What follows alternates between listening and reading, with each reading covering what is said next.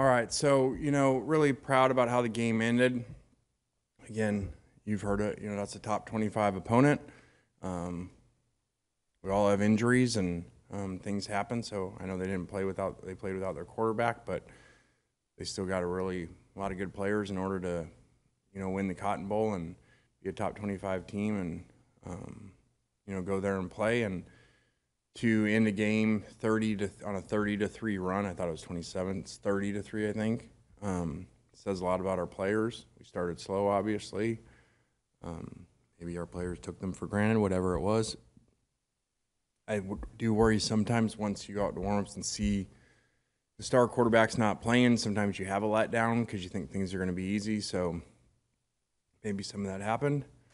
Um, but very proud of how they finished. Defensively, played awesome in the second half. Um, outscored them, I think, what seven to three. So um, made some significant special teams plays. So was very concerned in game about our inability on third down to convert, our inability to run the ball um, was very unusual um, in our four years of being here. So they did a great job. They played really hard and played extremely hard, and we did not adjust very well and match their intensity on, in my opinion, um, up front.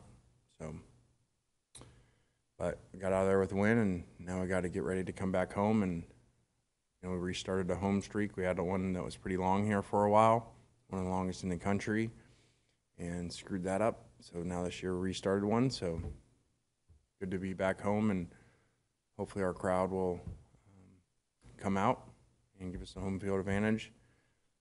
On that, I thought that our crowd was phenomenal there um, to show up for a road game like that and to stay. Um, you know, at the end of the game in the fourth quarter, you know, looked like late in the fourth quarter, like the whole stands was Ole Miss, so that was cool to see. And like we challenge our players with things. I mean, I know the Grove's awesome, they say, but it'd be nice if our fans would stay like that to the end of our home games too. So it was cool to see. It was really um, energetic. Kind of reminded me of uh, the Egg Bowl two years ago at Mississippi State at the end of the game. Kind of an off-topic question here, but Ole Miss fans have kind of expressed some kind of concern about Matt Corral uh, and his whereabouts. I was wondering if you've had any contact with him over the weekend at all. Yeah, I don't think that's really um, my spot to comment on. Um, you know, especially public like that. So I appreciate the concern, but it's really not my spot. Lane, correct me if I'm wrong, but were you and Brent Key together at one point at Alabama? While you were there? And if so, what was he like, you know, as a coach, and just you know, what do you know about him? That's one of your questions where you know the answer. You knew we were together, but then you say, "Were you?" Um, yes, uh, he did a really good job. I've actually tried to hire him before at one point. Um, really good line coach, really good teacher, um, good recruiter, and um, he's doing a good job there. Lane, are you concerned at all with where the run game is right now? Yeah, I'm highly concerned. I mean, that's very unusual for us. Not just here, really anywhere. I mean, it's been a long. I don't even remember. I mean, this job, Alabama, FAU. I don't remember the inability to run the ball um, at all. So, I said, they did a great job, but obviously that has a lot to do with us, and that's everybody. You know, um, that's perimeter blocking. That's lineman execution, running back um, footwork. It's everything. R- You know, running the ball is not like throwing sometimes. Sometimes in throwing, I can be a good quarterback. Kyle will pretend is an athlete and a good receiver. Okay. Well, I can take the snap and he can run a quick route and us not block anybody and we can move the ball. Running's not like that. It takes everybody um, to have a really good running game. So um, we definitely look to improve there, and uh, that that's a that's a major issue and, and one that I don't think anybody would have guessed. Lane, Saturday, Jackson said he felt last year's team would not have made that comeback or won that game against Tulane. You kind of sense or feel that after the game, and is that a testament to kind of the proof of concept of where this team is two weeks in? Yeah, you probably got that from me. I said that in the locker room. Um, you know, I did- obviously don't have analytics to prove that, but I did feel a difference. you know that that may have not happened a year ago. Um, and I just really felt during the game, you know, like the offense was struggling and the defense's attitude, like after the one turnover, you know, or after a third down stop, was like, all right, we got you. You know, it was a very, we got your back. we really challenged them before the game. You know, we tried to match what the other team supposedly does really well. And everybody said how hard Mercer played, you know. And so told them, let's play harder. And then with these guys, the whole thing was Tulane, Tulane does a great job playing as a team, unselfish, you know, really plays well as a team in order, you know, to beat USC. And remember that team at this time a year ago, I think went into Kansas State and won. So the year before went into Oklahoma and took them to the last play. So I thought it was cool that they did play as a team, come together um, in the second half, and like I said, go on a thirty to three run. So I don't, I certainly don't know that that would have happened a year ago. Dayton Wade had a big performance. What was it like to see him step up after Trey Harris went down? Uh, it was huge because we were not moving the ball really well. Um, there was a feeling, you know, when he when Trey went out, something changed. You know, I wouldn't have thought that big of a whole offensive drop off, but for whatever reason, basically, we'd scored every time in every possession all year he was in. I think we punted one time the week before but he was already out of the game at that point. So all of a sudden, we can't move the ball. So uh, there was a feeling of that. D Wade did a good job stepping up. Um, now we need other guys to do that too. kind of following up on that, obviously, several pass catchers at this point have had injury problems. What's your level of concern, I guess, with, with that at this point? Yeah, I think that game got challenging um, when you think about you're playing with without you know a tight end that had you know come into the season through training camp and stuff, arguably one of your most important players on your entire team. How well he was playing in all areas, including the run game, to help with the run game, and then Trey, who'd had what five touchdowns through a game and one drive, goes out.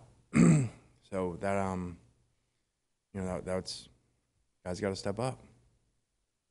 Coach, how important was Isaac Ukwu's performance, and what type of depth does he provide moving forward? Yeah, that's a very late addition, um, and he's done a really good job. And that's, you know, our challenge to our guys nowadays is sometimes when you go places in the portal world, it's not the exact thing you wanted it to be. You know, every one of these guys isn't going to start and play every play, you know, and be the featured player. So I, I continue to try to spotlight these guys to the rest of the team that, you know, they just seize their opportunity, whether that's 10 plays or 70 plays. Back to kind of the concern of the run game. When looking at the film, what issues did you see maybe the O line having, especially in that first half, with just trying to get anything going? Um, they did a lot of movement up front. We didn't handle it very well. Um, created negative plays, and um, you know didn't finish things. You know they came off of blocks and made plays, or we didn't turn back when we should have. And um, you know they were very aggressive in what they did defensively after that first series.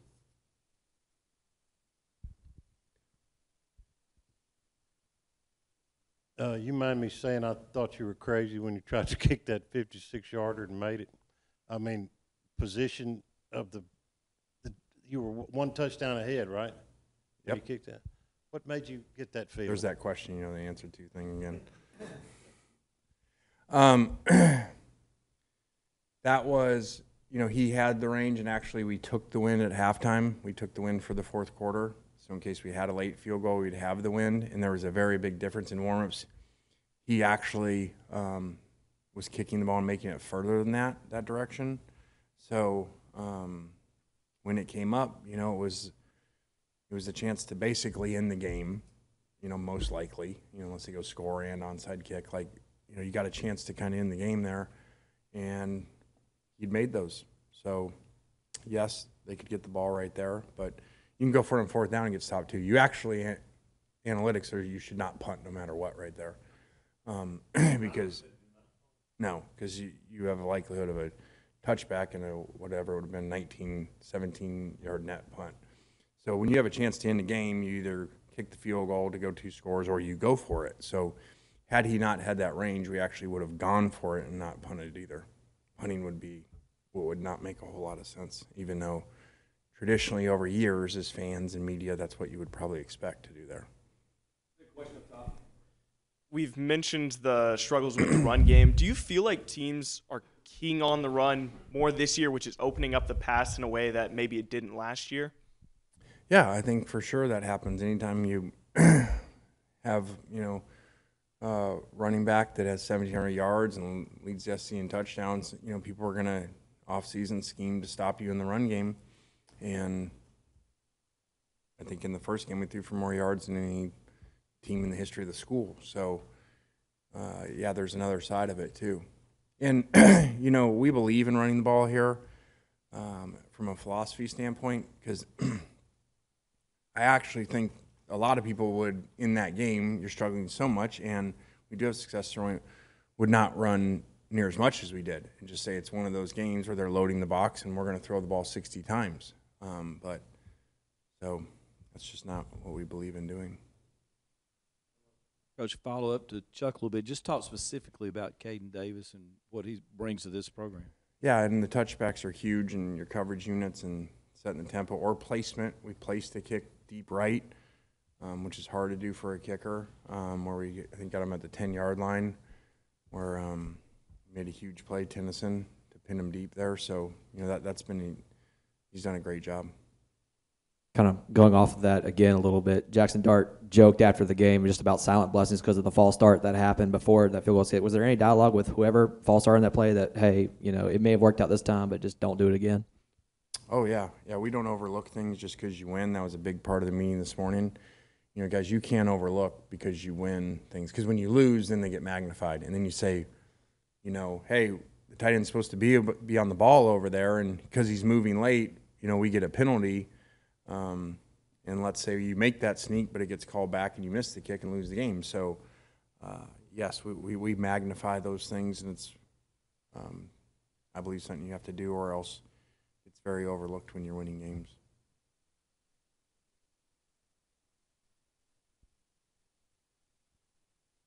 Uh, you, you said a couple questions ago that you know you could have maybe thrown the ball 60 times, but you didn't because that's not what you believe.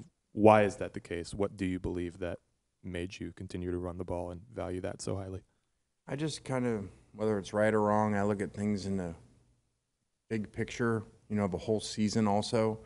Um, and I think once you go that route to submitting to, okay, hey, we're going to throw when you load the box no matter what, um, you can get off balance. Your quarterback takes more hits. Um, you may have more yards, but um, your RPOs don't work as well.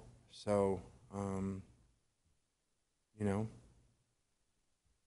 and it keeps more balance in your room, you know, of players and where the ball goes too, because be very challenging for a running back come back 1,700 yards and only have four carries or something in the game.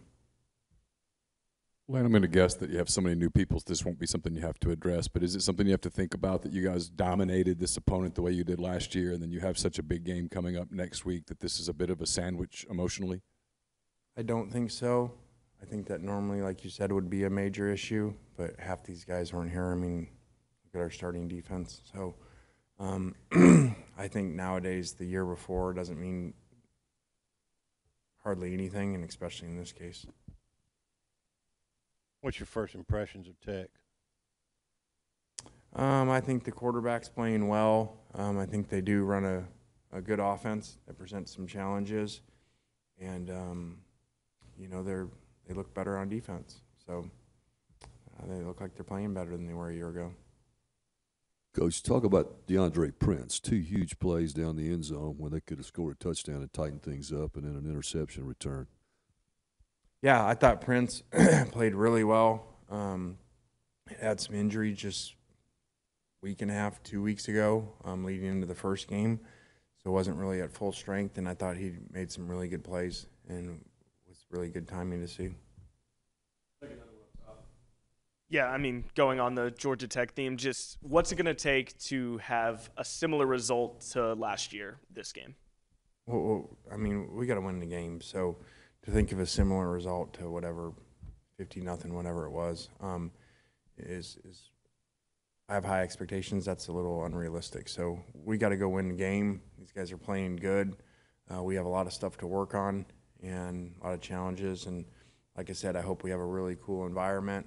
You know that the fans um, come out. I really commend the student section. Our last home game, I think they said that's the highest number of students we've had at a game, including like Alabama a year ago. So, especially the freshman class. So, uh, that's really cool. Hopefully, the rest of our fans can show up too. All right, guys. Thanks.